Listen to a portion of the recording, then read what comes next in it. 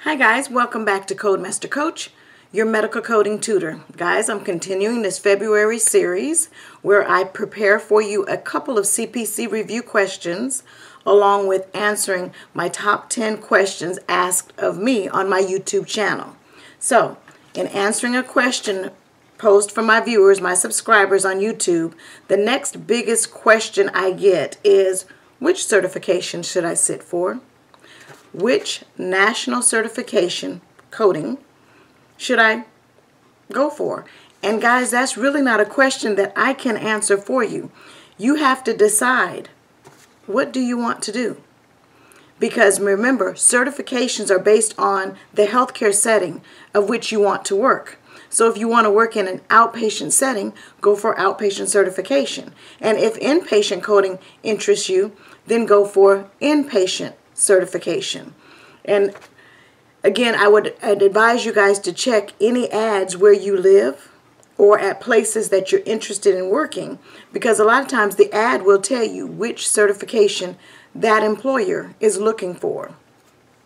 Right off the top of my head, I can tell you for outpatient, I recommend a CPC certification.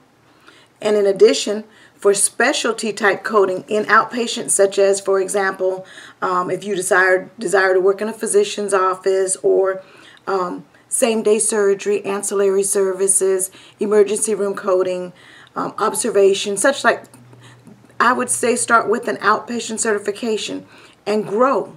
If you desire, desire inpatient coding, I'd recommend the C, CCS um, certification. But again, CCS is recommended after experience. That's a more advanced coding certification, but CCS is inpatient coding certification.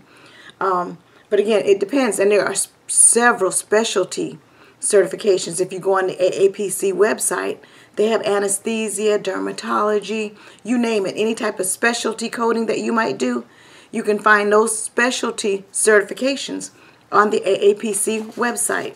So again, when I'm constantly asked which certification should you guys go for, it's going to depend on you. You're going to have to make that call, and it's really determined based on the type of coding that you want to do. So do your research again. I'm always telling you guys don't count on other people to tell you what you need to do.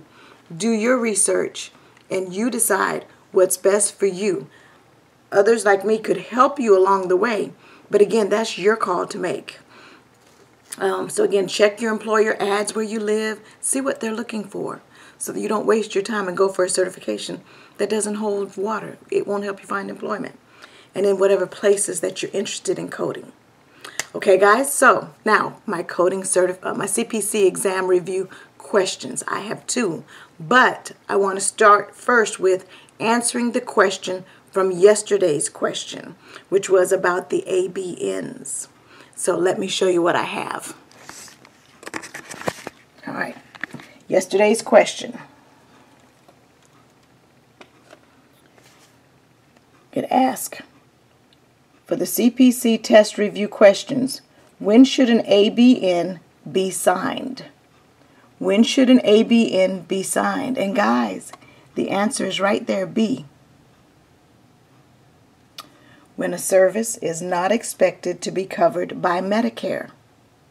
That's when an ABN should be signed. And then question number two was the amount of an ABN should be within how much of the cost to the patient? And the answer is $100 or 25% of cost. And of course, I bring my documentation. Again, I've done my research. And the answer says an Advance Beneficiary Notice, ABN, also known as a waiver of liability, is a notice a provider should give to you as the patient before you receive a service if, based on Medicare coverage rules, your provider has reason to believe that Medicare will not pay for the service. The ABN allows you to decide whether to get the care in question and to accept financial responsibility for the service if Medicare denies payment. Now, this means that you will pay for the service out of pocket. CMS expects that the estimate should be within $100, there's our answer, or 25% of the actual cost, whichever is greater. However, an estimate that exceeds the actual cost subst- substantially would generally still be acceptable since the beneficiary would not be harmed if the actual cost was less than predicted. So, hopefully, these two questions have motivated you to do your homework about ABNs. All right, today's question. When coding for a patient who has had a primary malignancy of the thyroid gland that was completely excised a year ago, and there is no current treatment directed at that site. Which of the following statements is true? A. When no, no further treatment is provided and there is no evidence of any existing malignancy, primary malignancy, then you code code Z85.850. Or when further treatment is provided and there is evidence of an existing metastasis, code first the Z85.850 and then the C32.3? Or is it C? Any mention of excision, invasion, or metastasis to another site is coded as D49.1? Or is it D? When further treatment is provided and there is evidence of an existing metastasis, code first C78.39. All right. Question number two.